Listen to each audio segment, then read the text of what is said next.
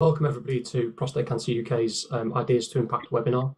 Uh, so this is this is a webinar. This is an opportunity for us to tell you a little bit about some of the research that we're funding, um, and, and with a bit of a focus on research in Northern Ireland and research in Birmingham, um, and to hopefully give you an idea of the difference we can make with research and, and why it's so important that we fund it, um, and, and how that can help men with prostate cancer now and in the future.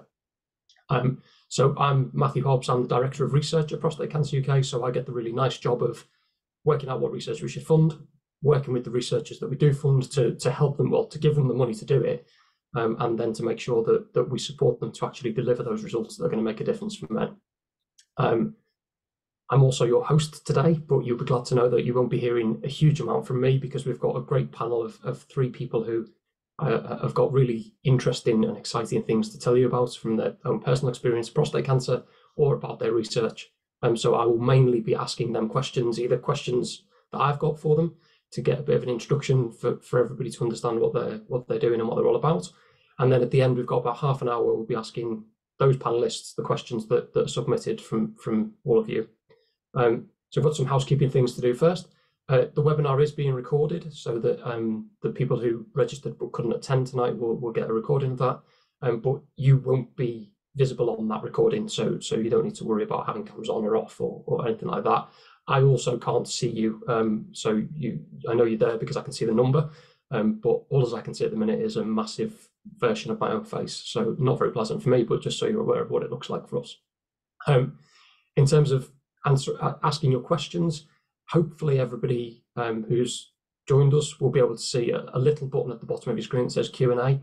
If you click into that, you can type your question um, a, a, couple of members of the team are going to gather all those questions together and send them over to me so that I can so that I can ask as many as possible um, when we get to that Q and A session at the end. Um, what I would say is please don't share any um, specific health information in those Q and A um, sessions. There's, there's, a number of people in the background who will be seeing those those questions. We also can't answer any any very specific um, questions about your own personal clinical situation. Um, not least because none of the panelists are actually medical doctors, we're all scientists.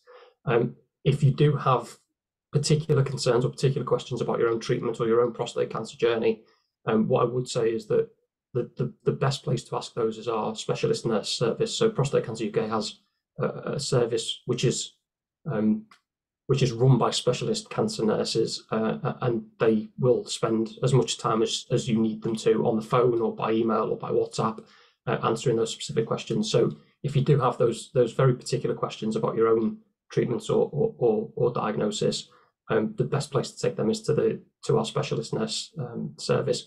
And, and one of the team will, will put some details about how to contact those nurses in the chat so that you can see all of that.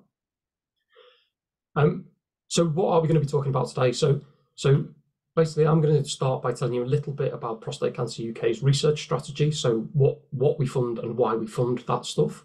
Um, I'm going to talk a little bit about about how we know that's working, so the impact of our research to date. Um, but really, I'm then going to hand over to to to hear from our panelists. And so we've got three great panelists. Um, we've got um, Alfred Fagan, who's a, a, man with prostate cancer. He's going to talk talk to us a little bit about his own diagnosis and, and how that's happened. And then we're going to talk a little bit about prostate cancer in black men and, and the research that's happening around that at the minute.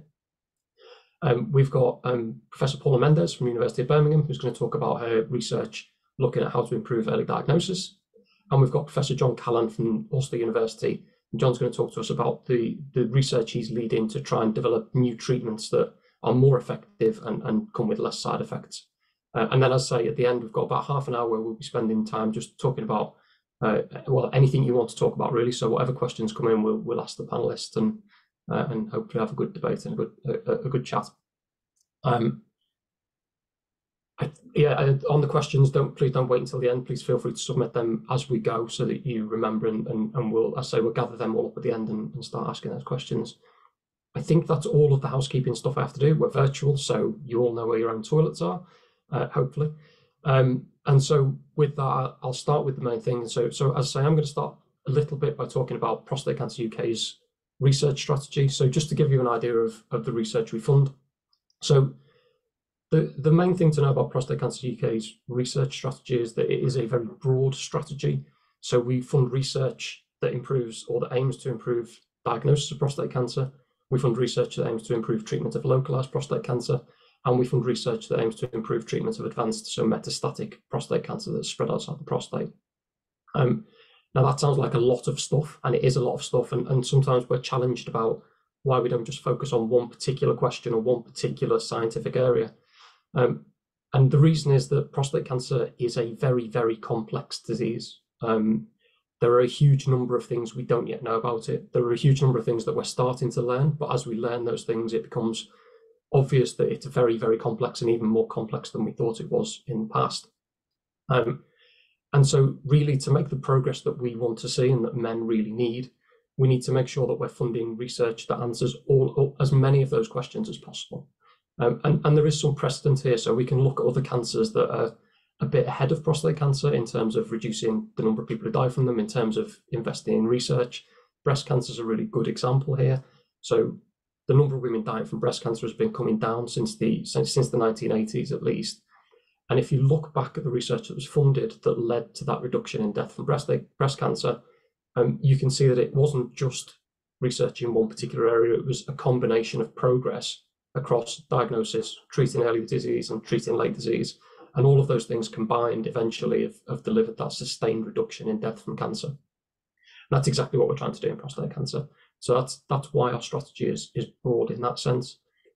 The other thing about our strategy is that we fund research right through from the initial idea, so the very first discovery, the very first time a researcher thinks, well, that's something interesting that we should think about, right through all the different stages of research that happen in university labs, into clinical trials, and so we'll also fund clinical trials. So we fund the whole sort of spectrum of, of different research, and that's one of the reasons that that we call this webinar "Ideas to Impact." The research is a bit of a, a journey, and hopefully you'll hear from our panelists what what particular stage they're working on and, and what comes next and what's gone before. And the other thing to say about our research strategy is that, that we fund research right across the UK. And so, as I say, we've got um, we've got a bit of a focus today on the Midlands and, and on Northern Ireland. Um, but we do we do fund research right across the UK. So so when we open research funding competitions, we we ask researchers across all universities and all hospitals in the UK are eligible to apply, and so we get applications from from everywhere pretty much.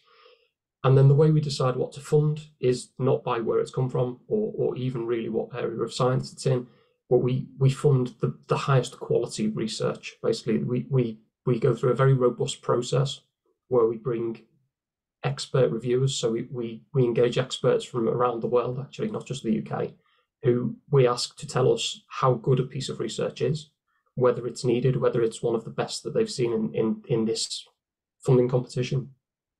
And then we fund the ones that are best. So, so the ones that those experts, those independent experts, tell us are the best and they've got the best chance of making an impact for them are the ones that get funded. So what that means in practice is we do have a portfolio of research. We've got about 40 active projects at the minute, uh, and they do span the entirety of the UK. So, so they they are happening in all of the different areas of the UK, in universities and hospitals around the country. Um, so that's a little bit about our strategy. Um, and before I stop talking and, and, hand over to or bring in our panelists, um, I thought I'd just touch on on the other bit of that. So that's kind of the ideas bit. So the research strategy is how we get the ideas from from the researchers. But what about the impact bit? So I'm really pleased to say that we we know that we're doing good work. We know that we're funding good research because we've now got a, a whole list of of pieces of research that we've funded that have now delivered impact. And so there is a bit of a time lag between funding research and getting the the, the, the change in practice, if you like, the new treatment or the new way of diagnosing prostate cancer. But we've got a, a, a list now of, of examples where that's happened because of our research funding. Um, for some of those, we've worked them up into into full case studies. I, am not. I don't want to spend too long talking to you because um, I do want you, want to um, want you to hear from the panel. Um, but what I would say is that that we've got around about nine of those those impact case studies, if you like, that are, that we've that we put on the website, and we've explained in full what we funded, so that how, what was the research and when we funded it, and how that's now translated into a real impact for men with prostate cancer. And and as you'd hope that those those examples of impact, much like our strategy, span all of those really important questions in prostate cancer. So how do we diagnose better? We've got examples where we've improved the way prostate cancer is diagnosed because of the research we funded. How do we treat men with localized prostate cancer to make sure that we cure them when the when the cancer is treated when it's still in the prostate? We've got examples of treatments that are now used routinely because of research we funded. We've got a lot of examples of research that has improved treatment of men with advanced prostate cancer. So advanced prostate cancer is the prostate cancer that kills men, and that's that's really where we we need to see different treatments and new ways to treat coming in. And we've got some examples of that and, and ways to make that treatment at that stage more precise so that men live as long as possible with as good a quality of life as possible, despite their prostate cancer.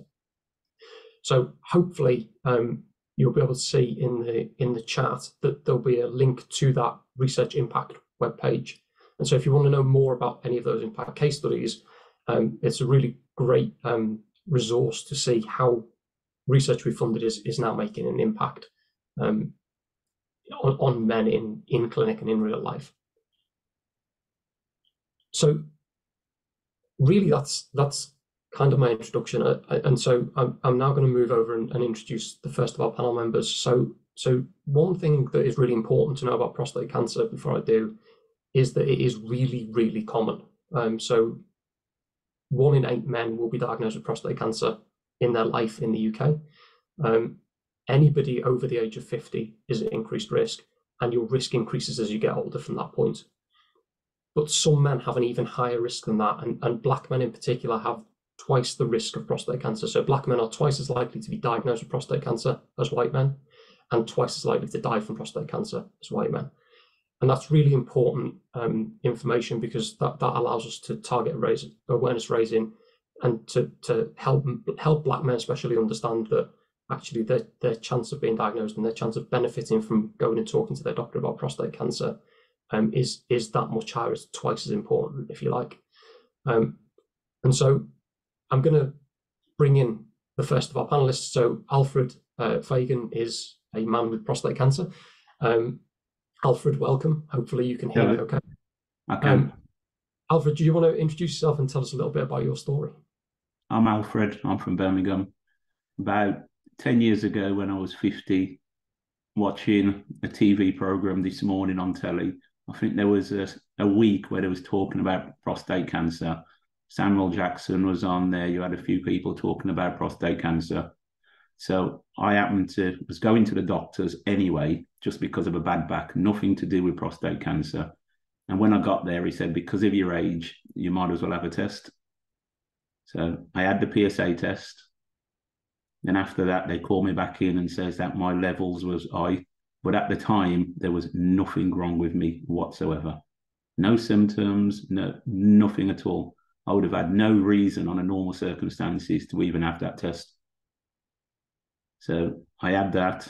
Then they said something, it's a bit high. And I had to go through a series of different tests. I had a biopsy and whatever. Then they told me I had prostate cancer. But the main bit, there was nothing wrong with me. I wasn't getting up ween, had no symptoms, I was fine. And plus I was only 50 at the time anyway. Yeah, so I mean, and so that's that is a really important message, Alfred. So so thank you. Um it is that that fact that most men with localized prostate cancer, so so prostate cancer when it's localized is still in the prostate, and there are a lot of treatment options that are very successful for men with localized prostate cancer. But men with prostate cancer that's still localized tend not to have any symptoms. So you will hear this this idea that actually getting up to go for a wee night very often is a symptom of prostate cancer. Actually, probably it's just a symptom of getting older. And as you get older, you're more likely to have prostate cancer. So it's a bit coincidental. What we know now is that the majority of men with localized prostate cancer, which is the stage where we want to catch it, don't have symptoms. And so that, that idea of understanding risk and understanding awareness is really important. And so you said that your your GP proactively said to you you should have a PSA test. Is that right? Yeah, because my GP, what you'd say is a GP in Birmingham in the in the city, he happened to be more aware of it, and he told me, "Well, why don't you have the test?" At the time, I was terrified because I thought it was an internal examination, and when he said it was a blood test, I was having a blood test anyway for other things, so it's just an extra tick in the box. Yeah. So I done it. Yeah. So I mean that in a way, that's I mean, clearly nobody wants to be diagnosed with cancer, but actually catching it early is the key thing here, and it, that that sounds like best best in class of GP behaviour to to recognise your increased risk, to offer you a PSA test, and to explain what it was. That's exactly what we're trying to get consistently all GPs to do, if you like. Yeah, but not all of them do it because I can still go to that same GP tomorrow and I will not see one leaflet about prostate cancer. I will about everything else, smoking, breast cancer, but you will not see nothing about prostate cancer. So I was lucky out of 10 doctors, the one yeah. I saw that day was aware about it. Yeah, and, and and that's exactly where I guess where we come in, and actually where a lot of our supporters and volunteers come in in, in raising awareness of prostate cancer, um, and and especially in black men or men at higher risk. So so the other group of men at high risk are, are men with a family history. So so tell us a little bit then about your diagnosis, Alfred, if you don't mind, and, and how that went. So I had the biopsy. Then it says um, I think I had to come back in about four weeks, but I had a letter telling me to come back in two weeks. So from there, I was terrified anyway because your appointment was early. Then when I got there, they told me that they found out of the 12 samples, I think they found cancer in three out of the 12. So basically, from there, I had prostate cancer. Then everything changed then for me. Yeah. So then, so then you started talking about treatment options, presumably. Yeah, I had radical prostatectomy. I had mine removed. I had mine removed um, after about might be three, four months. Really, I could say I was okay. I was out and about. wasn't able to go back to the gym, but on the outside, I was still moving around and getting back to normal. So mine's been 10 years now anyway. So, and I still have my test and everything's still low. So I still see I'm one of the lucky ones because I found it early. So my volunteering, what I do, try and explain to all the men I meet, you've got to find it early. If you want to come out how I have, you need to find it. Don't wait for symptoms. So that's the way I try and explain to people: don't wait for the symptoms. Excellent, and and just Uh, and and thank you for doing that, Alfred, because actually that's a very selfless thing to do to help more men be lucky like you. Uh, what? How do you find the response to that message? Are, are men receptive to it? Are you, are you, you know, you having those conversations easily? Are people listening? I suppose. Well, it's strange. When I was diagnosed, to me, nobody else I know had prostate cancer.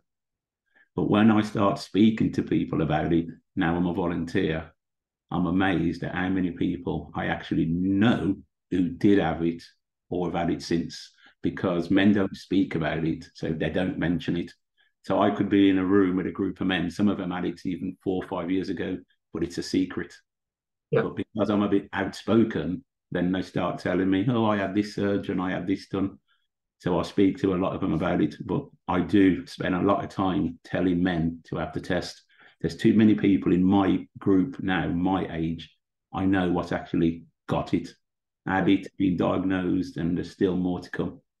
Yeah, absolutely. And so, um, so again, um, Serena in the chat has just shared a, a, a link to Prostate Cancer UK's risk checker. So that that is a very quick, very simple tool online. It will ask you a couple of questions about your age, ethnicity, and family history, and then it, if you fill that in, it gives you some personalised information about your level of risk and what you need to know about prostate cancer. So I guess effectively, Alfred, it's it's the conversation you're having in person but done online. I'm sure not not as effective. Yeah, it is the conversation. Yeah, yeah. Yeah, it um, would be good if there was more volunteers because people do respond to people directly speaking to them. Yeah. You know what I mean? Yeah. Even if they, they never thought about it or they wouldn't have gone to the risk checker because some of them they don't they've never even heard the word prostate cancer really until yeah. you mention it to them and it does make a big difference having people like me speaking about it openly all the time.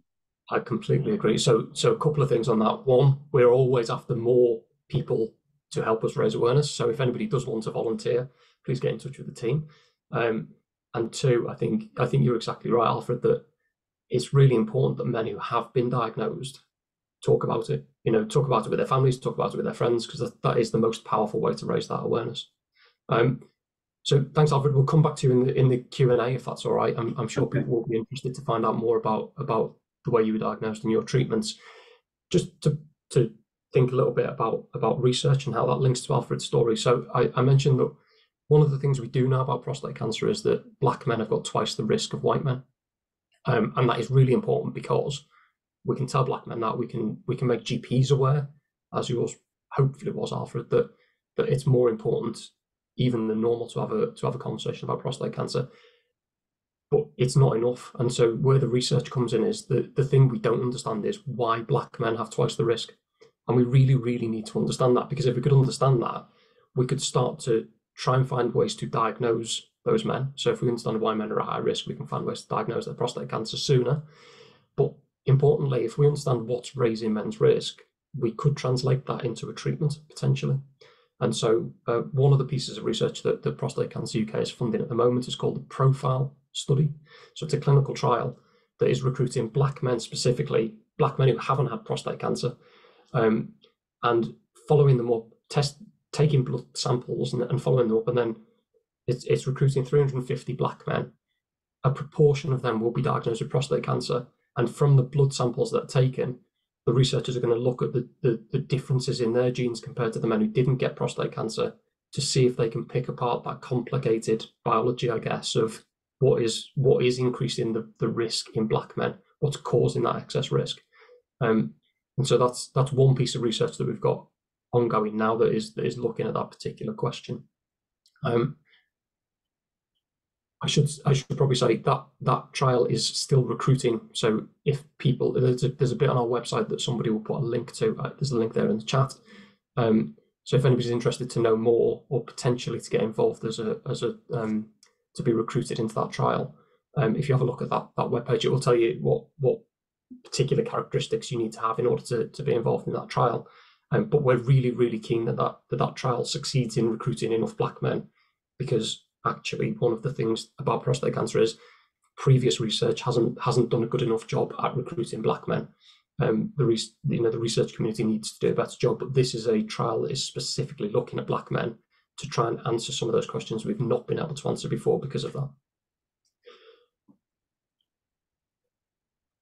So that's so so Alfred is our, our first panelist, I guess, and, and obviously a man with with a, a sort of personal experience of, of prostate cancer. I'm going to move on slightly, and, and so so I guess the important thing to to hear from from that bit is one of the really important things is that that men understand if they're at high risk of prostate cancer and when they're at high risk of prostate cancer, because that that allows them to trigger that conversation with the GP to have a PSA blood test that ends up with diagnosis I'm going to move on now to our next panelist who, who is working on research um, to try and improve how we diagnose prostate cancer once men are there in that sort of situation where they, they know they're at risk and they, they want to be tested for prostate cancer. Um, so just before I introduce Paula, we've got a, a, bit of audience participation to make sure you're still all there and all listening. Um, so you should see a poll um, appear. There we go. So it's a, a, a little bit of a, I guess, a fun question to see uh, if you can get this right. I'll give you, I'll be honest, I don't think I would have got this right if I'd been asked the question before seeing the answers, uh, and I probably signed off this spend. So the question is, how much funding have we awarded to the Midlands over the past five years? Um, and so if you want to tick one of those boxes, see the team's given me some really nice detailed numbers to read out. I'm going to go for 430,000, 507,000 or 570,000, um, and we'll see if you get that right.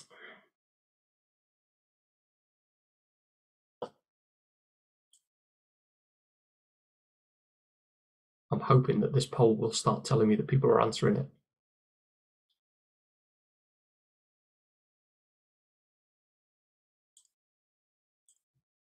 Okay, I can't see any results. I can still see the poll. I may be looking in the wrong place. Um, but I can tell you that the right answer is £569,000. Uh, oh, okay, and about about 40% of you got that right. So um, yeah, most most people got it and most people went for 507,000. So you were almost there. Um, so that's that's the amount we spent in in the Midlands on research specifically over the past five years. Actually, since Prostate Cancer UK was founded and started funding research in 1969, uh, 1996, um, we've spent about 1.2 million pounds on research in the Midlands. Um, and so, so some of that some of that research funding has gone to our next panelist, and so I'm, I'm delighted to welcome Professor Paula Mendes. Um, hi, Paula. Um, Paula, do you want to introduce yourself and, and tell the audience a little bit about your research, and, and then I'll ask some questions about it as well. Of course. So I'm Paula Mendes, and uh, I come from uh, the School of Chemical Engineering and Healthcare uh, Technologies Institute at University of Birmingham. And what we do, I'm a professor of advanced materials and nanotechnology. And what we do is to man manipulate materials at nanoscale, very, very small scale, work with molecules. And by doing so, we are able to detect molecules, biomarkers associated with prostate cancer. And what we develop as a group is uh, creating new diagnostic assays that will uh, more accurate uh, will uh, diagnose one of them. We work with the, with other cancers, but in this case with aggressive prostate cancer. That is what we'll be talking about today. Great. So so thanks for that, Paula. So um, so you mentioned biomarkers there. So just just for the audience, so um, just to explain that a, a biomarker is just anything in the body that tells us something, basically. So, for example, PSA, so the PSA blood test that, that many of you will be aware of is the way we currently diagnose prostate cancer. PSA is a biomarker. Um, and so, so Paula, just I guess the the the heart of your research is to improve the way we diagnose prostate cancer, right? It's to it's to do a better job than the PSA blood test. So, can you tell us a little bit about why that's necessary? Yeah, so it's like Alfred said, the, the PSA test, and, and it's good in, in this case, it detected the at the early stage the prostate cancer, but there are issues with the PSA test in the sense that this PSA that is a biomarker, the PSA is a glycoprotein, and I'm not going to detail, but it's a protein and then has sugars attached to it. And what we, we do on the PSA test is having this, we are just looking at the protein side.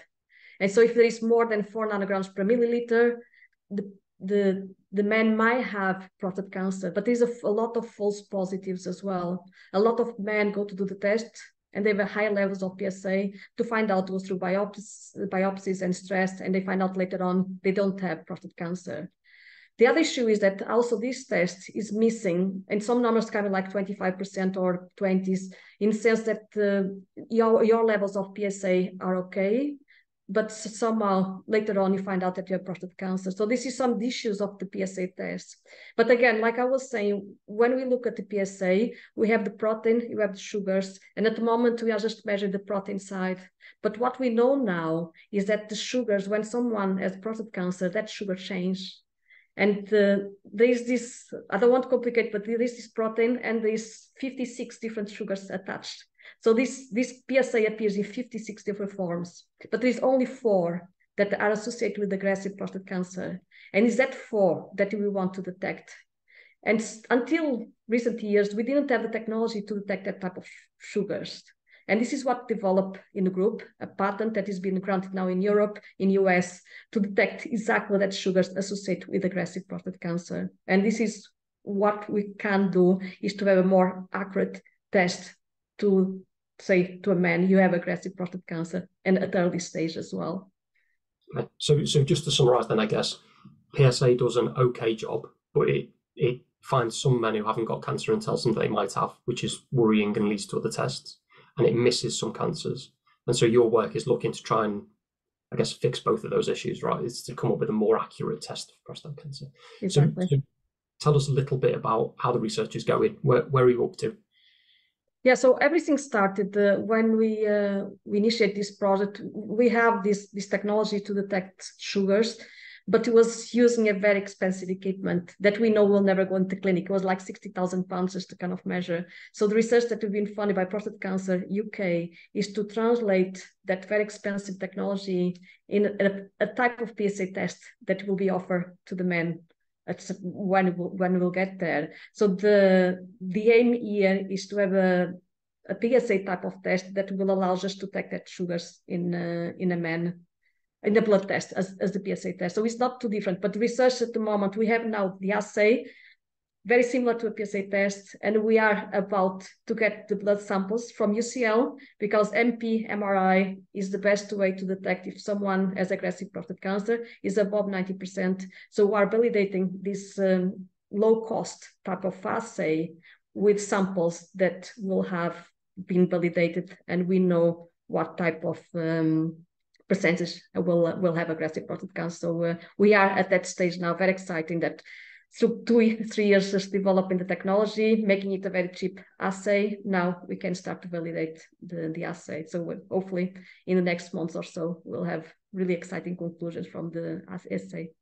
That's great. So, so I guess just to, to explain to the audience, so so basically your work up to now has been about developing the test, making sure it works, and and working on it in the lab. And now you're at the point where you're going to actually show it some samples from men with prostate cancer to see if it if it really works in real life, right?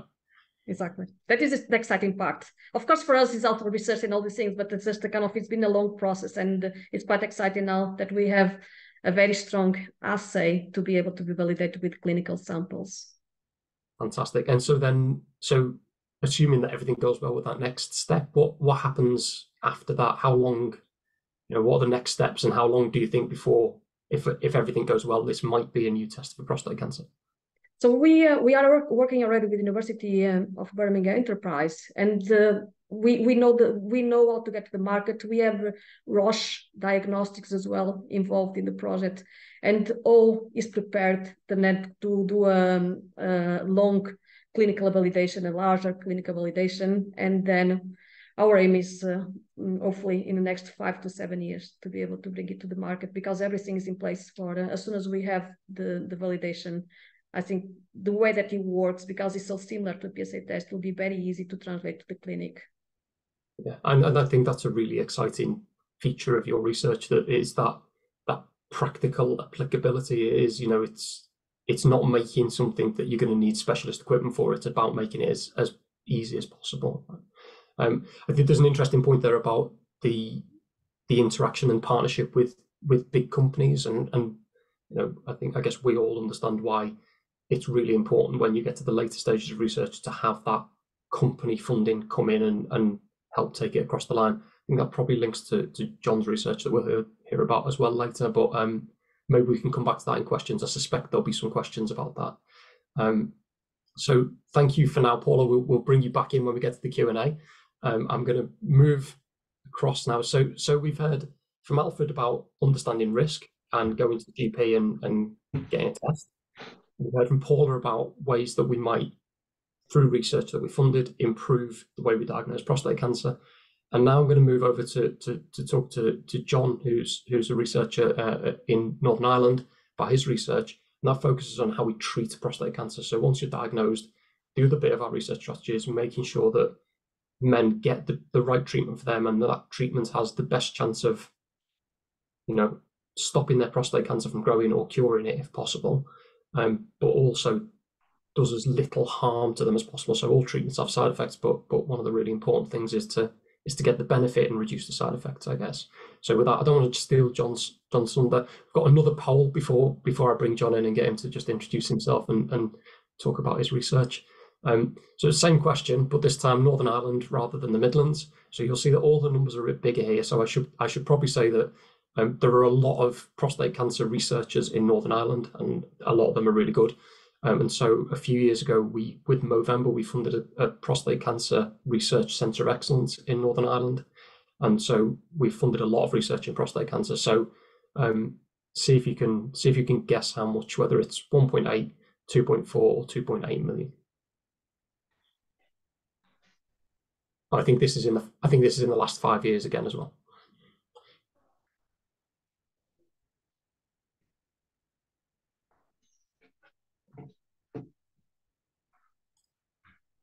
Okay, so that poll has now disappeared. And so so this time you were smart to our trick and most people have gone for the highest amount and that is right. So we funded about just over 2.8 million pounds worth of research in Northern Ireland uh, in the past five years. Um, actually the amount before that was even more. So we've actually funded about 7 million pounds of research in prostate cancer in Northern Ireland since 1996. And I say a lot of that money went through that centre of excellence. Um, so well done on getting the right answer. Um, and and John, if I could just introduce you, I'll get if I could ask you to introduce yourself and again just tell us a little bit about your research, please. Sure. Uh, well, John Callan, I'm professor of pharmaceutical science at Ulster University. in Northern Ireland. Our research focuses on trying to develop more effective ways uh, to deliver chemotherapy drugs and also develop new treatments that are uh, more effective and, and uh, have less side effects than conventional uh, chemotherapy treatments. Excellent. So, tell us, I guess, tell us a little bit, John, about chemotherapy generally. So, so how does it work? What does it do, and, and why do we need to improve on on that as a treatment? Yeah, well, chemotherapy. I'm sure everybody's familiar with the term chemotherapy and, and has had, you know, family members or, or friends or, or loved ones that have, uh, you know, gone through a course of chemotherapy treatment. Chemotherapy is, is really a class of drugs that is designed um, to stop or slow down the growth of cancer cells. So by their very nature, they're they're extremely toxic compounds. They're they're cytotoxic. They're designed to kill cells, and the way that they, they work, unfortunately, means that uh, not only are cancer cells susceptible to their toxicity, but also normal healthy cells are also uh, susceptible to that toxicity to a certain extent. So when we're using chemotherapy as a treatment for cancers, trying to find a balance by which, uh, given a dose or a concentration of the drug that will have an effect on the cancer cells, but not have too much of an effect on the healthy cells in the body to try and minimize the side effects to a certain extent. So our work is obviously focused on trying to uh, deliver these drugs in a, in, a, in a much more effective way um, to get more to where it's needed and less distributed elsewhere around the body so we can get more effective treatments with, with uh, minimal side effects. Excellent. So then the big question, I guess, the, the, the million dollar question is how do you do it? How do you how do you get the drug to where it needs to be and avoid hurting normal cells? Well, we utilize a, a technology known as uh, ultrasound targeted microbubble destruction. And I suppose that the simplest way to try and explain how this technology works is to, to sort of think of the, the bubbles that we would have blew as children from fairy liquid, for example, and then use the pressure of touch to burst those bubbles. So what we're trying to do is, is similar in many ways, but at a much, much reduced uh, scale. So the bubbles that we're using are micro bubbles, so they're micron size, are about 100 times smaller than the diameter of a human hair. And instead of using the pressure of touch to burst those bubbles, we're using the pressure of an ultrasound wave. So we load up our, our bubbles with chemotherapy and another treatment that also responds to ultrasound called sonodynamic therapy. So we load these bubbles up with uh, the, the drugs. We inject a suspension into the, the systemic circulation. And then we use a focused ultrasound beam positioned at the tumor, the prostate tumor, to burst the bubbles, releasing the drugs and also activating the, the sonodynamic therapy component of the treatment. So it's a targeted drug delivery system with a combination of, of treatments working together. Uh, so it's low dose chemotherapy and sonodynamic therapy. So we're able to, to get much better effects than full strength chemotherapy at a fraction of the dose of toxic chemotherapy. So not only is the treatment more effective, they also are, are much, much better tolerated than a, than a full strength chemotherapy treatment. I suppose I'm sure people will be fascinated by the idea of loading drugs into bubbles, but maybe we can come back to that, back to that in the questions. I, I guess I'm really interested to know because it's it sounds like such a sort of a wacky idea. Where where did where did it come from to start with that idea of using bubbles as the I guess as the sort of coating for the drug? Yeah, well, microbubbles themselves are already used in medicine today. So we, before we started looking at them as a drug delivery vehicle, they were already approved for use as what are termed contrast agents in diagnostic ultrasound applications. So, for example, if you went in to get a, an examination of your liver by ultrasound or your heart, for example, quite often the, the doctor would, would give you an administration of these microbubbles as, as a contrast agent to help improve that image that's given back. So, at the very, very low intensities, of diagnostic ultrasound, the bubbles just oscillate back and forth symmetrically, and that helps improve the, the echo that, that comes back uh, from the, the ultrasound. The, if you increase the pressure in the bubble, the ultrasound pressure, but still well within safe limits, you know, uh, safe, safe limits, then the bubbles will, will rupture. And it, it's that it's that concept that we have utilized in terms of targeting the using the microbubbles as a, a targeted drug delivery vehicle. And we were also interested in stimuli responsive therapeutics. Um, so we we've looked at what's called sonodynamic therapy that uses ultrasound to activate a drug to make it go from being non-toxic to toxic. So we can use the same ultrasound stimulus that, that ruptures the bubbles to activate this component of the treatment as well. So it's it was sort of an evolution of, of uh, different components merging together to form this uh, final sort of treatment. Oh, that's absolutely fascinating. So, so where are you up to, John, with the with the research? What stage are you at? Well, we've just and we've been working on this for for many years, and our initial focus was in the area of pancreatic cancer. So we probably are further down the road with with our uh, approach in pancreatic cancer, and we're planning to to start a clinical trial in that area quite soon. We've just recently finished the grant in prostate cancer, um, that was funded by PC UK. So as you mentioned in your opening, uh, Matt, there, there's generally a lag between you know the preclinical research finishing and you know being able to, to, to sort of jump into a clinical trial. But we're hopeful that the the work that was done in pancreatic cancer, as I say, there's a lot of commonalities in the technology. And I say one of the real attractive features of this technology is that the component parts, the microbubbles, the ultrasound, the chemotherapies that we're using, they all have been used safely in humans before. So therefore, you know, we're putting them together in a different sort of way. So from a regulatory point of view, it's allowed us to have a, a sort of you know relatively smooth runway to the to the clinic. Um, and we've had several discussions with the regulator, the MHRA, on you know the, the sort of safety package, etc., that we will need. So hopefully, in, in, terms of a prostate cancer uh, clinical trial, we're, we're probably two to three years away from that, realistically.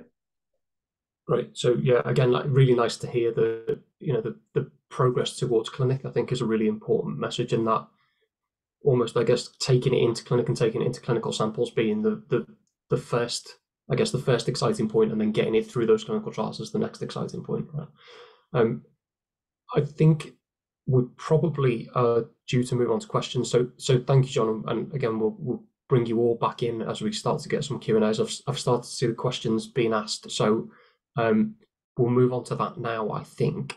Um, so bear with me while I look at my other screen and, and see which questions are being asked. So um, I guess I guess one for both John and Paula, I suppose, is, is, there's a question about why research takes so long. So so I alluded to it uh, and about the different steps we need to go through, but but maybe both of you could just touch on you know why does it take so long and and I guess what could we do as researchers or as research funders to to move it faster, or is it just it has to take this long? Would I start, John? Yes, please do. Yeah. So we wish it was faster. It's always the kind of uh, things that we aim at. But if you have, uh, we need to do so many developments. We have PhD students, we have postdocs in the group working at, at really good pace. But research will take time, and things don't work at first you know we have this idea we'll try it doesn't work and we need to think what can we do to make it work? And all that process takes time because it's, it's, it's a natural thing that not every ideas that we have we have the right idea we know how to do things but even to detect that sugars create these particles we need the right size of the particles. We, we can start with 40 nanometers but we want 10 now we get to that 10 so all that steps takes time. So it's building up an assay in my case it's building up an assay and all of building that assay has challenge and all need to be tackled and this takes time unfortunately yeah and, and uh, in, in terms of you know testing new drug uh, or new drug formulations in humans as well there's a you know there's a lot of regulatory barriers that you need to pass through to obviously if we're going to give anything to a human being we have to make sure that first of all that, that the technology is safe that it's made effectively, that as Paula made, it's, it's reproducible to make, that we can make it the same way every time. And, you know, we have to submit this to the to the regulator and then get approval from them. And then, as, as, as Matt said as well, it's, it's not cheap to move to clinical trials. And, you know, that the, it's raising the, the necessary funding to be able to, to fund that process, you know, through the after the development stage. So to show that it works in the lab, getting it then into uh, and the patients and as a commercial sort of uh, product it is also take is, a, is an expensive process as well as a time consuming process. Yeah so so i guess there's two things. There's the there's the necessary trial and error to get to the right answer that that paula you talked about and then i suppose there's the making making absolutely sure that it that it whatever it is whether it's a test or a treatment actually works. So we don't we don't do we don't cause harm. So a lot of a lot of that is that's why there are all those different stages and all those safety features in in research. But yeah, I guess from a funding point of view, I would say that one of the things that holds back progress is still that we we can't fund research as quickly as it comes to us, and so you know every time we run a funding competition, there, there is research that we'd like to fund that we can't, and so we we we do know that the more we raise, the the quicker we can push, but within limits, I suppose. Um, John's a couple of questions for you specifically about your um, the microbubbles and, and a question about whether it is this a treatment for localized prostate cancer or for metastatic prostate cancer and, and how does it work if it's metastatic? Yeah, good question. Um, it's it's it is a, a, sort of targeted drug delivery system, so it's targeted specifically at, at the at the primary tumor, but we have evidence to show that the uh, the treatment, particularly the sonodynamic therapy concept of the treatment, will trigger an immune response that has the potential to treat metastatic disease as well. And that's a very exciting aspect of the work. And we've shown that that combines very well with uh, emerging immuno uh, checkpoint inhibitor, uh, immuno, immunotherapies, particularly the immune checkpoint inhibitor type drugs. So although it is a, a you know a targeted treatment to deliver you know the treatment specifically to the to the, the primary tumor, um, it, it does have potential to treat uh, metastatic disease through this immune stimulation. Okay, so so just I guess for the audience that so there's a there's a real I guess explosion of excitement about a, a, new a new way of treating cancer called immunotherapy, which which instead of treating the cancer directly, encourages your own immune system to try and get rid of the cancer instead. And there's there's various different ways that that's being done. It's been really successful in some cancers, so uh, lung cancer and skin cancer, especially. Now we're seeing people with those cancers, with very advanced cases of those cancers, cured by immunotherapy. It hasn't worked yet in prostate cancer. There's something odd about prostate cancer and a couple of other cancers actually that that seems to prevent those treatments that that manipulate the immune system from working. But other stuff like like John's microbubbles and different ways of, of manipulating that immune system are starting to look promising. And so it's a really really interesting area of research. Um, I wonder if I could ask you. So I, I kind of talked a little bit about the interaction with industry and and how that looks and why it's important and whether it's a good thing or a bad thing and trying not to be leading but um, maybe I can maybe I can hand over to to Paula to talk about that that relationship with Roche I think you mentioned yeah so uh, they've been involved since the beginning because the assay that we are developing we still need the, an antibody to capture the PSA in a particular way that the sugars are attached uh, are uh, exposed at the interface. And this antibody only is uh, is not commercially available is from Roche and from beginning is providing kindly providing that antibody. And apart from that is we are getting guidance from them how we should develop the assay as well. We have meetings with them in terms of development so they are quite engaged and as soon as we have this clinical validation they'll be on board to to explore further. And this is what we need because we don't want to start a startup or anything. We want to work with these uh, companies that have their own psa test and will be just a replacement from the psa test psa test for our own test. That is a better version of what is out there at the moment. Yeah that's, that's really helpful. And, and john for yours i guess there's is there any commercial interest yet, or are you, are you still in an early stage where, where that's not yet relevant?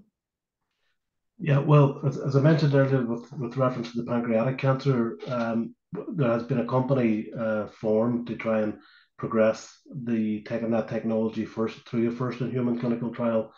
Uh, that company is called Sonotarg Limited. So that's really it, it's a it's a spin out company from the university. As I say, it's it's difficult to recruit or get the funding necessary to you know, detect these technologies from very promising, exciting preclinical research that's funded by the charities to a commercial platform. And, you know, it's difficult in the therapeutic area to, to get, tra- get traction early on with big pharma until you actually have some human, you know, data in humans. So, so uh, that company, Sonotarg, has been founded to uh, to bring the, the technology of pancreatic cancer into first in human clinical trial.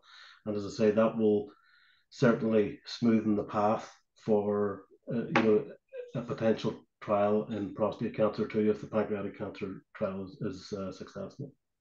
That's really helpful. I mean, and, and certainly from from our point of view as a funder, we welcome that engagement. We welcome our researchers engaging with commercial like with companies because we know that eventually research gets to a stage where it needs such a big trial that we can't fund it. So, so for example, so the last stage clinical trial, phase three clinical trials, especially for treatments which prove that a treatment works and gets it into clinic, they tend to cost hundreds of millions of pounds. And so there's there's no way the charity can fund those. So by that point, we need a company to come in and fund those those really big clinical trials. Um, and and so actually we we also spend a lot of time talking to companies and trying to make them excited about prostate cancer and excited about what's coming through so that we can reduce that delay, I guess.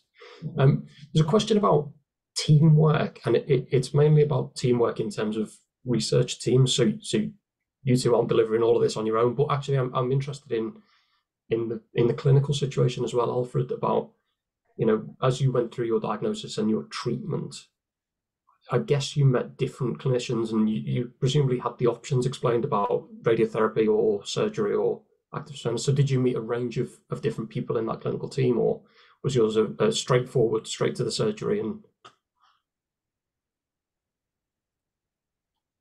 Sorry, Alfred. Yeah. Oh, I'm unmuted now. Can you hear me now? Yeah, gotcha. When when I was told that I got prostate cancer, when I had to go back to the hospital after my biopsy, basically my options was radical prostatectomy or brachytherapy at the time. But you put in these questions to someone who hasn't got a clue about prostate cancer. And that's what they do. They put you in the position says we can do A or B when you've got no idea what so that's A the, B is. That's, that's, the GP who was having that conversation. No, that was at the hospital. Right. Okay. I was diagnosed at the hospital. They just basically said, "This is a lucky for me. When I did get diagnosed, I was with my daughter, and because that she does work at an hospital, and she was aware of certain things, I was going to have brachytherapy because it sounds simple yeah. Was there wasn't going to cut me open so it sounds simple. But then when i thought about it i ended up thinking most doctors would think if you've got a cancer in your body you want it gone. So i went for radical prostatectomy. I had it removed completely. Yeah it's it's a and we so we hear that from men at the point of diagnosis really really frequently of that you know we're we're asked to make a choice of something you don't know about. three or four treatments with incomplete information. And, and, actually, it's very difficult. And we hear it from doctors as well. Actually, it's the, the treatments are all pretty good. And so it's quite difficult to say you should definitely go for that one. It's, it is about that side effect profile, and each man's a bit different in what they value. And so uh, I think a, a link has gone back into the specialist nurses. That is an area of particular expertise for the nurses, explaining all those treatment options so that hopefully everybody can can make that right decision for them, like it sounds like you made, Alfred. So but it was a difficult decision for me because at the time I didn't know what to do because regardless, both of them had side effects. I think I might be lucky. I justify to myself because I was only 50 at the time when I was fit and healthy. I've got through it okay. But it was yeah. one of the hardest decisions of my life, working out what to do. Yeah. Yeah, it is. It's almost an impossible decision because you, you can't know until it's, you know, until you've made it.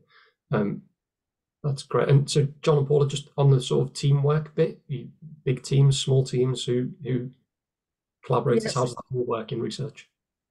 Yeah, so we uh, we have um, a postdoc funded by Prostate Cancer UK, but uh, I also have uh, an, a PhD student funded by the School of Chemical Engineering at University of Birmingham, one from Botswana scholarship, and another one from um, Azerbaijan. So it's a kind of a big team. Although we are funded partially by Prostate Cancer UK, we have a team of um, of four people working really to push as much as we can. Uh, while writing their doing their PhD and writing their thesis, they they work together, and, and this is a fantastic thing because when we have these subgroups, I have a group of 14 people, but when we have these groups working on that particular case, we do a lot of brainstorming. And this is the best part. It's just the kind of coming together as a group and be able to uh, to tackle. And it's dividing the, the, the tasks. We know where we want to go, and this person is doing this, the other person is doing that, and then we come together, all of us discuss the advance. And if more energy, more time, effort needs to be put on a particular area of the research, people will be dragged in that direction. So this is what teamwork really allows us to do. Excellent, thank you. So, and we've got another question, which is a a hot topic in research and outside research as well. I think so. Somebody's asked for, for John and Paula, what impact do you think AI is going to have on prostate cancer? John, you want to? I haven't really given much thought, to be honest. I, I, think the, the when it will come to this type of test and values, and I, I, I don't think it's just the this PS the the, the amount of sugars that we have or in PSA that will be, but it will be a kind of a combination of different. And one thing that I believe at certain point, we will not have these in vitro tests we might have in vivo tests where we're collecting certain amount of data and AI will be quite useful in terms of monitoring and all this data and understand when someone goes from a healthy state to uh, to a disease state. So AI, I'm sure will have a big play in all this diagnostic right. area. I think you're right. I think I think the, primarily it will be about how we diagnose prostate cancer. It, you know, there's so much that we don't understand that the machine can see without even needing to understand it think that's where we're going to start to see it. I do think in the end we'll end up using AI to try and work out or to give us an answer on, I guess, kind of what you were talking about, Alfred, a little bit.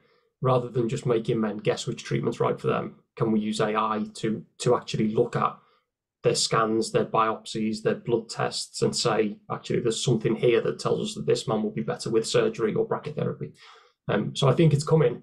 It's coming quick, but we need to make sure that it's done right. So again, talking about safety, we need to make sure that any of those AI tools, the way they're developed is based on samples that are collected now, and we need to make sure that the samples that they're trained on, they're developed on, one are right, and two are representative. Um, so there's no point just throwing a load of very treatable cancer at an AI tool and saying learn how to treat this because we already know how to treat that. It's the it's the difficult cases we needed to help with. Um, a very specific question, Paula, for you about um, detecting PSA and sugars. Does it have to be in blood or could it be in urine? It, so uh, the reason why you are doing blood because there is an area that is glycoproteomics and glycoproteomics means that uh, there's other research before us because we are just know we know that four sugars in PSA but who is telling us is the glycoproteomics and what has been going on is the glycoproteomics were done in blood not in urine and there's some work done in urine and urine has less amount of everything. So uh, if we're looking for psa and particular forms of psa we'll have a higher amounts and so a diagnostic test will be easier to be done in that sense than when we have a urine test. Okay. So yeah so so it's it, you might see them in urine but you probably won't get the strongest signal right? So it's it's going to be harder. Exactly it's helpful, thank you. Um, there's one which I think is probably for me about um, how do we make sure or who monitors what research is being funded across the world to make sure that we're not funding the same thing as somebody else. Um, so I, I, touched on it a little bit at the start, but basically the way, so there's two ways that we make sure that we're not funding research that's being done elsewhere. So the first way is I spend a lot of time talking to other funders across the world and funders that aren't in prostate cancer. So I talk to pharmaceutical companies to understand what they're doing. I talk to Prostate Cancer Foundation, who are a big funder of prostate cancer in the US, to understand, I guess, priorities and, and make sure that we're all working it to to deliver real impact, but without stepping on each other's toes, I suppose. Um, but actually, the, the real way we do it is through that assessment process. So when we get a research proposal in, we send it out. So it's a hundred page or more document um, where the researchers tell us everything about what they want to do and how much it will cost. We then send those each every single one of those gets sent out to at least three expert independent reviewers around the world who work in that particular area. So, for example, when Paula's um, application came in, we'd have sent that to people working in diagnosis. We'd have sent it to people working in glycoproteins and sugars. When John's came in, we'd have, we'd have sent that to people working in targeted therapy and probably some people who'd worked with microbubbles each of those each of those independent researchers we ask to tell us if it's good. Is this a good proposal? Is it going to make a difference for men is the science sound? But we specifically ask them is this novel? So is anybody else doing this? Because if it isn't if if somebody else is already doing it and doing exactly the same thing then we won't fund it. So so it's a key part of our of our um, assessment process i guess. We then we then ask the same question to our funding committee, who is that group that we pull of, of senior researchers in prostate cancer from around the world. And again, we very deliberately, and not all funders do this, but we very deliberately have people from outside the UK on that committee so that they can tell us what's happening in Europe, in the States, in Canada, um, and, and we so we're very very careful and we ask that question a lot because the person who asked the question is exactly right. We want to fund stuff that that moves things forward. We don't just want to fund something that's happening already. Um, so there's a there's a question about um, risk in other ethnic groups. So we talked about double the, the risk in black men. Um, there is there is different risk in different other different ethnicities. So so um, Asian men have a lower risk than than white men of prostate cancer. Again, we don't understand why the why the chance of getting prostate cancer is higher or lower in different ethnicities, and so that's a really important ongoing area of research. It's definitely something to do with genetics, but genetics is really really complex. So there are around about 250 different genes that slightly increase or slightly reduce your risk of getting prostate cancer. And so there'll be something in that that is different between ethnicities but it's not it's not going to be a simple answer. There's going to be a lot of stuff that we need to understand about it. Um, a really good question for for Alfred. Alfred, so one of the things that's really important to Prostate Cancer UK is making sure that we are getting that awareness message in front of the men who are highest risk, and so obviously that means black men. Do you have any ideas as a black man as a black man with prostate cancer on how we can how we can do that and how our support groups and our volunteers can do that? try to recruit, recruit more volunteers. Because at the moment, if I knew someone and they wanted to become a volunteer, they wouldn't even know how to go about it. Yeah. It was a struggle when I became a volunteer 10 years ago. I had to go on the internet. You had like a training day in Birmingham, but that was 10 years ago. Now, if someone said to me how to be a volunteer, I wouldn't even know how to guide them to the right direction. Because if you've got the volunteers out there, directly speaking to people, that makes a difference, especially if the person speaking to them looks like them. People can relate to people what look like them, look the same age group as them. You know I mean, then they'll open up and you can have this conversation and then convince them to take the next step.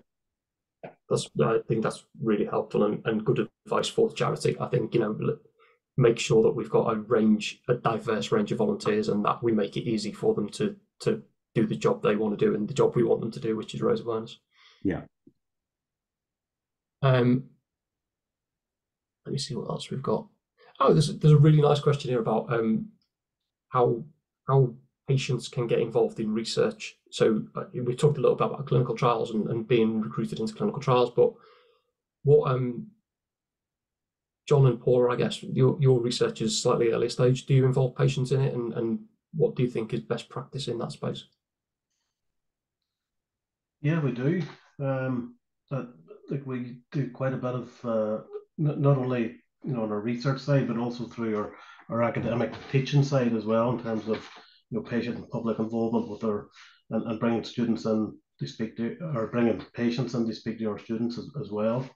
Um, but it's important to you know engage with with patients and they identify you know ultimately where we're going to position our treatment you know, where is the best place to position this treatment? As, as Alfred says, you know, in prostate cancer, there's there's several different types of treatment, and um, you know, there, there's different experiences with those those treatments as well. There's different side effects, etc. So, I think it's important to, to listen to patients to identify what their experiences are, and you know how that could potentially help us, you know, identify the best way to deliver our treatment. So, for, so, so basically, you're you're engaging with patients to try and understand that long term where you place the treatment, like what what what the what the need really is. Yeah, where is the need exactly, and and you know how can it improve on the current standard of care? You know, for example, you know, obviously from a from a chemotherapy point of view, in prostate cancer, chemotherapy is used quite late on in the treatment pathway. Um, but you know, what are the experiences of that? Is there any way that we can could potentially use that earlier on that might prevent the, the progression of symptoms, for example, another you know, another because we're we're delivering very low doses of chemotherapy, could we use it earlier in the treatment pathway? Um, so yeah, it, it's there's various different aspects that can be can allow us to better inform our research um, by engaging with with patients early on. That's that's really good to hear, John. So, so as a funder, we do a couple of things in it on on that. So we think it's really important that that men with prostate cancer or the families of men who've died from prostate cancer are involved in informing research. And so for us, part of our assessment process, you know, we've talked about the, the research experts telling us whether research is good or not. But we also have a panel of people with lived experience who, who we ask, is it important? Would you get involved in this trial if you were asked to be, you know, if you were asked to be involved in it? So we, we get that patient input into our decision making. We also have a, a bigger group of patients who are, are, happy to get in touch with the researchers um, to help them do exactly what you said, John. So to, to develop their ideas, to work out the real needs, to understand it from a patient's point of view, um, and and that so we do a sort of matchmaking service on that. Um, so I think whoever asked that question is, it is a very important one of of involving patients in research. Um, there's a question about. Uh, a little bit surprised it took until now to come up um, about screening for prostate cancer and why we don't have screening for prostate cancer. Um, so it is a very, very appropriate question because actually one of the things we see is that being diagnosed in time early enough when your prostate cancer is still localized in your prostate as I think Alfred said it a couple of times, he was lucky to have a GP who raised it. He was he was lucky to have caught it early, and the only way we can make it not look is to get a screening program for prostate cancer. So a screening program will be like in breast cancer, where you'd get a letter every so many years saying coming to you to say go and get your PSA test or your your prostate screening. The reason we don't have it is because the evidence isn't good enough. That is really the the real reason for it. And what that means in practice is, so you heard Paula mention that some of those downsides of the PSA test were it sends men for additional tests they don't need because they haven't got cancer and it misses some cancers. All of the evidence we've got about screening for prostate cancer with PSA was done before men got an MRI as part of the pathway. So I think from what you said, Alfred, you didn't have a, an MRI scan as part of your diagnosis. Is that right? Only after after the biopsy. Okay. Yeah. So, so after the biopsy, because I had pains in my back at the time, nothing to do with this. They just wanted to make sure. So I had a CT scan and a biopsy, but that was after I was diagnosed anyway. Yeah. So so now what's ha- what's changed since when Alfred was diagnosed to now is that now that MRI is done for men who've got a raised PSA, but before they have a biopsy. And what it's a, and it's based on research that we funded actually a long time ago. Um, what it's done is it's reduced it's reduced the amount of harm that's done by having a PSA test because far fewer men now have a PSA test, don't have cancer but have a biopsy. And and if you don't need a biopsy, you want to avoid it. Um, so it has changed what happens in practice. It might be that it's changed things enough that we now have a good enough diagnostic pathway to screen for prostate cancer. But the people who make that decision, the National Screening Committee, want they need trial evidence that shows them that we don't do too much harm and we still do all of the benefit that we think we do by screening. And that so so the short answer is we need they need research to convince them of that. It's difficult to design and fund that research, but we are going to do it because it is such an important thing to do. The other thing to say is that pathways changed already, but, but we're also seeing other ways to diagnose prostate cancer that look like they do a better job than PSA. So, so I think Paula's test will be in this category in the next few years, but we do have things like using MRI scans right up front that that are that are better than PSA. But again, to, to get that into a screening program, we need to absolutely prove that it does find men with prostate cancer, with, with high risk prostate cancer, at a point where they can be cured and it does it does improve life expectancy. It does stop men dying. Again, we need to fund the research to do that, and and we realize this is a little bit of a cop out answer to end on. We are going to fund that research. We've got we had a targeted funding call a couple of years ago, and we will fund that research. We're just at the point of working out exactly what that research needs to do and how it needs to be delivered. But we are going to do it it will take some time to get there though, and that's why it's really important that we continue to raise awareness, that we continue to do the stuff around the risk checker tool, that we continue to get people like Alfred talking about prostate cancer and telling men that they're at risk, um, because it will take us some time to deliver that research that, that gets us to screening. And so for now, we just we, we really need to focus on raising awareness. Um, there's a very quick one for me that I'll finish on and then I'll, I'll close up. Um, do we only fund research in the UK? So Prostate Cancer UK does only fund research in the UK. some of the research that we fund has international collaborators. So the, the researchers we fund will be working with teams in, in other countries, but our money goes to the researchers in the UK. So the answer to that is yes. Um, I think we're rapidly running out of time. Um, and so I should probably close up. So so I'd like to to first of all to close up say thank you to to Alfred, Paula, and John. Really appreciate you taking the time to to tell us about your research or tell us about your personal experience, Alfred, and and to to give our audience a bit of an insight into into what what either of those things has been like for you. So thank you, thank you all very very much. Um, I'd also like to take the opportunity to thank everybody in the audience. So there's about 300 of you in the audience. You're all people who have engaged with Prostate Cancer UK and supported us in some way. A lot of you will have done that by donating money. Um, that money is absolutely essential. We can't fund any research without the money that, that you donate or that you fundraise for us. So thank you to everybody who's donated money to us or raised money for us. Um, thank you also. Some of the people in the audience will have will have supported us with time and with awareness raising, like Alfred does that's also absolutely essential to what we're trying to do to, to reduce the number of men dying from prostate cancer. So thanks to all of you. Um,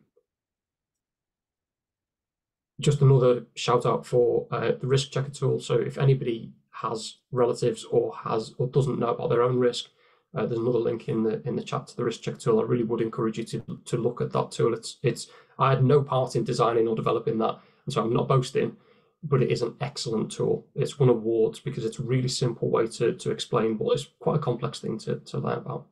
Um, we've got a couple of feedback polls coming. So um, when we open them, we'd, we'd really appreciate you filling these in just so that we understand a little bit about the audience and a little bit about whether you enjoyed this. Um, and if you did enjoy it, that's great. But what you particularly enjoyed, so we can do it again. If you didn't enjoy it, that's also really important for us to know so that we can make sure that the next the next one of these that we do uh, does meet the, the, the things that you want it to meet. Um, I wouldn't really be doing my job. I talked about how um, how important the money that all of you have donated in the past is in helping us fund research. Talked about that early diagnosis research that we need to fund, the, the research that will get us to screening. We've got an appeal out at the minute asking for asking for funding specifically to fund research uh, related to early diagnosis. And so uh, there's also a link in the chat to to that appeal and recognise that this is not an easy time to be to be sparing cash for for anything. Um, but if anybody has has got the means and the inclination to donate, we, we would really appreciate it. Um, and it, it will make an impact. I hope I've shown you that, or we've given you the links to see that the research we fund does make an impact, and you can see that, that we're doing things properly, we're funding good research, and it's making an impact, and, and that's only through that through that funding. So, um, thank you to all of you for for joining us this evening. Um, I think I need to just slow down because I think there's a second feedback poll. Yeah, there's the second feedback poll. Um, I think there were there were quite a lot of questions that we didn't get to answer in out loud. Um, I think there's probably a link in the chat to, for people to send questions to. Um, I can't see the chat anymore, so I hope that's true. Um, but we will we will try and answer as many of them um, by email as well as we as we carry on. Um, so I'm waiting for a nod to say that we've got the feedback poll, the feedback from the second poll that we need. Um, I think it's just closed, so I think we have. So, so on that note, I will say again, thank you everybody for joining us. Thank you to the panelists, especially for for giving up your time and and giving us an insight. Um, and hopefully, have a nice evening, everybody, and and speak soon.